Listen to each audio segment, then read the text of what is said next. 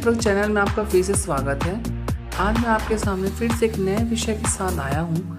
आज का विषय है पाँच बातें जिसके द्वारा पवित्र आत्मा शोकित हो जाते हैं। आपने यह नहीं सोचा होगा, लेकिन क्या आप जानते हैं कि हम पवित्र आत्मा को शोकित कर सकते हैं? इसका क्या मतलब है और हम ऐसा कैसे करते हैं? बाइबल बताती है, इफिसियों चार उसका तीस में, परमेश्वर की पवित्र आत्मा को शोकित मत करो। जिससे तुम पर छुटकारे के दिन के लिए छाप दी गई है।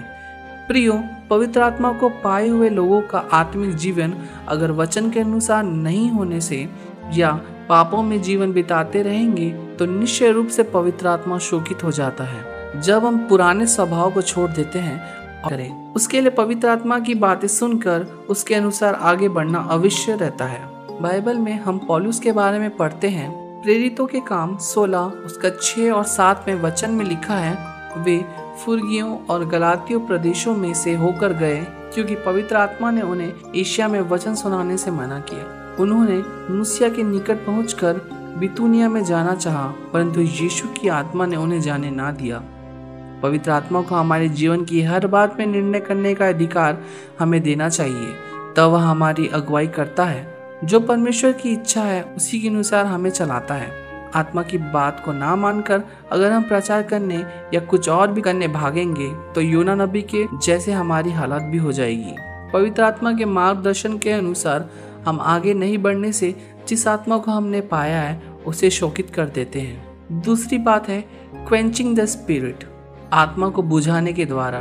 बाइबल बताती है, पहला तीसरो पाँच और उसका उन्नीस और बीस में आत्मा को ना बुझाओ, भविष्यवाणियों को तुच्छ ना जानो। पवित्र आत्मा शोकित होने का दूसरा मुख्य कारण पवित्र आत्मा को बुझाने के द्वारा।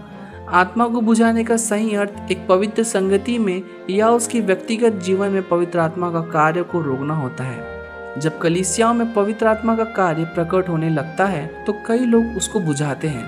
अक्सर भविष्यवाणी, अन्य भाषा, आदि बातों में परमेश्वर की आत्मा को लोग बुझाते हैं। विश्वासी लोगों के अंदर सही परख की आत्मा न होने के कारण सही भविष्यवाणी को भी गलत बोलते हैं। और आत्मा में जब हम प्रार्थना करते समय जल्दी से प्रार्थना बंद करने के द्वारा भी पवित्र आत्मा को हम बुझाते हैं।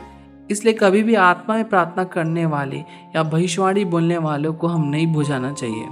इस कारण से आपके अंदर की आत्मा शोकित हो जाता है। आपके जीवन में पवित्र आत्मा का दान वरदानों से भर कर आत्मा की बड़ी सामत में आप जलने पाए, जिससे एक बड़ी बेदारी आपके द्वारा प्रभु शुरू करे।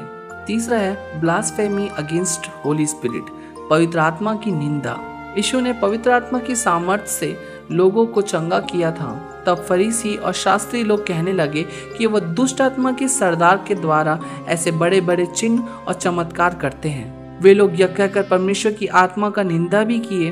तब यीशु ने कहा, शैतान कैसे शैतान को निकाल सकता है? यदि किसी राज्य में फूट पड़े तो वह राज्य कैसा स्थिर कर सकता है? मैं तुमसे सच कहता हूँ कि मनुष्य की संतान के सब पाप और निंदा जो वे करते हैं, क्षमा की जाएगी, परंतु कोई पवित्र आत्मा के विरुद्ध निंदा करे, वह कभी भी ना क्षमा किया जाएगा। वरन वह अनंत पाप का अपराधी ठहरता है। मरकुस तीन, उसका बाईस से लेकर उन्नीस में लिखा है।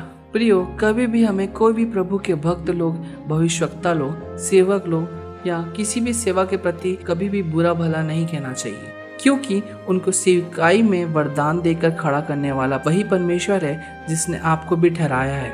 उनकी सेवाएँ अलग हो सकती है, तरीका भी अलग हो सकता है, मगर हमें किसी पर दोष नहीं लगाना चाहिए। वह ईश्वरी चंगाई के प्रति हो, भविष्यवाणी के प्रति हो, या कोई भी दर्शन के प्रति।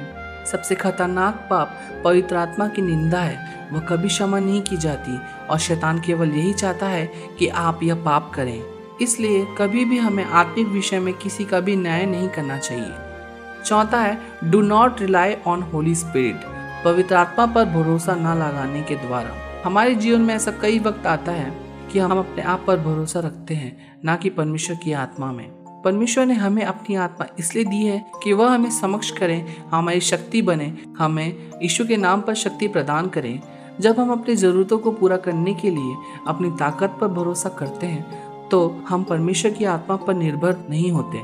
पवित्र आत्मा हमारी शक्ति का स्रोत है, लेकिन जब हम उसकी शक्ति को अनदेखा करते हैं तो हम उसे बुझाते हैं और परमेश्वर की पवित्र आत्मा को शोकित करते हैं। प्रेरित उसका एक का आठ में लिखा है परंतु जब पवित्र आत्मा तुम पर आएगा, तब तुम सामर्थ पाओगे और यरूशलेम और सारे यहूदिया और सामरिया में और पृथ्वी के छोर तक मेरे गवाह होंगे। हम पवित्र आत्मा की शक्ति के बिना सुसमाचार को समझा नहीं सकते और ना ही उसकी शक्ति के बिना दूसरों को गवाही दे सकते हैं। हम अपनी ताकत में ऐसा नहीं कर सकते क्योंकि लोगों के अंदर मन फिराने वाला परमेश्वर का आत्मा ही है। इस कारण सेवकाई सुसमाचार के प्रचार, वचन की सेवकाई आदि बातों में परमेश्वर के भरोसे में ही हमें आगे बढ़ना चाहिए, न कि समय के दिमाग में और बुद्धि में। आखिरी और सबसे मुख्य बात जिससे पवित्र आत्मा शोकित होते हैं, वह है अशुद्ध जीवन, अनहोली लाइफस्टाइल। प्रियो, परमेश्वर की आत्मा को पवित्र आत्मा इसलिए कहा जाता है क्योंकि वह पवित्र है। इस कारण अशुद्ध जीवन उन्हें पसंद नहीं आता है। अगर आप निरंतर पाप में अपना जीवन को बिताने वाले हो तो परमेश्वर की आत्मा आपके अंदर रहना पसंद नहीं करेगा। बाइबल में हम दाऊद राजा के बारे में पढ़ते हैं, जिस पर पवित्र आत्मा जवानी के समय से ही रहता है, जिससे उसने गोलियत को भी मार गिराया था। मगर एक स्त्री से आकर्षित होकर वे विचार जैसा बड़ा पाप किया और परमेश्वर की आत्मा को दुखाया। जब उन्हें उसके किए गए पाप के बारे में पछतावा होने लगा, तब वह कहता है, मुझे अपने सामने से निकाल ना दे। और अपने पवित्र आत्मा को मुझसे अलग ना कर। भजन संहिता इक्यावन, उसका ग्यारह में लिखा है। प्रियो, परमेश्वर पापियों से प्यार करता है, मगर पाप से घृणा करता है। इस कारण यदि हम पाप में जीवन बिताएँगे तो पवित्र आत्मा हमारे अंदर शोकित हो जाता है। इसलिए सारी बुराइयों से हमें अपने आप को साफ़ रख कर परमेश्वर के वचन को रोज पढ़कर, निरंतर प्रार्थना करते हुए प्रभु की महिमा करते रहें, ताकि आपके अंदर पवित्र आत्मा आनंदित रहने पाए। प्रियो तो यह पाँच बातें थी जिनके द्वारा पवित्र आत्मा शोकित हो जाते हैं। इस संदेश के द्वारा प्रभु आप सबको आशीष दे। अगले वीडियो के साथ फिर मिलेंगे। तब तक देखते रहिए मसीह नेटवर्क चैनल। आप सबों को जय मसीह की।